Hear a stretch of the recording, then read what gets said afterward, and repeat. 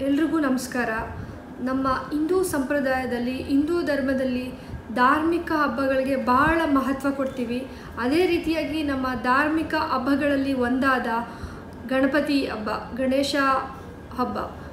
ಈ ಒಂದು ಗಣಪತಿ ಹಬ್ಬದ ಅಂದರೆ ಗಣೇಶ ಹಬ್ಬದ ಅಂಗವಾಗಿ ಬೆಂಗಳೂರು ಗಣೇಶ ಉತ್ಸವದ, ಉತ್ಸವ ಟೀಮ್ನ ವತಿಯಿಂದ ಇಪ್ಪತ್ತೈದನೇ ತಾರೀಕು ಬಸವನಗುಡಿ ನ್ಯಾಷನಲ್ ಕಾಲೇಜಲ್ಲಿ, ನ್ಯಾಷನಲ್ ಕಾಲೇಜ್ ಗ್ರೌಂಡ್ನಲ್ಲಿ ಒಂದು ಮಣ್ಣಿನ ಗಣಪತಿನ ಎಲ್ಲರೂ ಸಾವಿರಾರು ಮಂದಿ ಸೇರಿ ಮಣ್ಣಿನ ಗಣಪತಿನ ಒಂದು ಪ್ರ ಮೂರ್ತಿಯನ್ನು ಮಾಡೋದ್ರ ಮುಖಾಂತರ ಜೊತೆಗೆ ಆ ಮೂರ್ತಿಯಲ್ಲಿ ಏನು ಒಂದು ಸೀಡ್ ಯಾವುದೋ ಒಂದು ಗಿಡದ ಒಂದು ಸೀಡ್ ಹಾಕಿ ಅದನ್ನು ವಿಸರ್ಜನೆ ಮಾಡ್ತಕ್ಕಂಥ ಸಂದರ್ಭದಲ್ಲಿ ಅದು ಒಂದು ಪಾಟಲ್ಲೇ ವಿಸರ್ಜನೆ ಮಾಡಿ ಮತ್ತು ಹಬ್ಬ ಮುಗಿದು ವಿಸರ್ಜನೆ ಆದ ನಂತರ ಕೂಡ ಒಂದು, ಆ ಪಾಟಲ್ಲಿ ಒಂದು ಗಿಡ ಬೆಳೆಯೋ ಒಂದು ಒಳ್ಳೆ ಸದುದ್ದೇ, ಸದುದ್ದೇಶ ಹಾಗೂ ಒಂದು ಮುಂದಾಲೋಚನೆ, ಒಳ್ಳೆ ಮುಂದಾಲೋಚನೆ ಇಟ್ಕೊಂಡು ಈ ಒಂದು ಕಾರ್ಯಕ್ರಮನ ಆಯೋಜಿಸಿದರೆ ನಾವೆಲ್ಲರೂ ಈ ಒಂದು ಕಾರ್ಯಕ್ರಮದಲ್ಲಿ ಭಾಗಿಯಾಗೋಣ.